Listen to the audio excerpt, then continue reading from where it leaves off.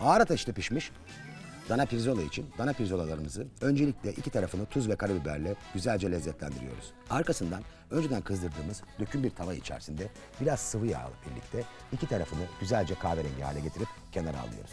Sonra aynı tavadaki yanmış yağı döktükten sonra biraz zeytinyağı, biraz tereyağı ilave edip içinde e, sebzelerimizi, kereviz, havuç, soğan ve sarımsaklarımızı güzelce terletiyoruz. Arkasından biraz salça koyup onu da kavurduktan sonra içine biraz Worcestershire sos, biraz soya sosu ekliyoruz. E, et suyunu da verdikten sonra bir taşım kaynatıyoruz. Kaynayan e, sosumuzun içine etlerimizi tekrar koyuyoruz. Fırında ağır ateşte etler kemikten ayrılıncaya kadar pişiriyoruz. Sosu için ise bütün yaptığımız yemeğin bıraktığı suyu süzüyoruz. Biraz nişasta, birazcık tereyağıyla birlikte bağlayıp önceden haşladığımız bezelyelerle birlikte etin üzerinde servis yapıyoruz.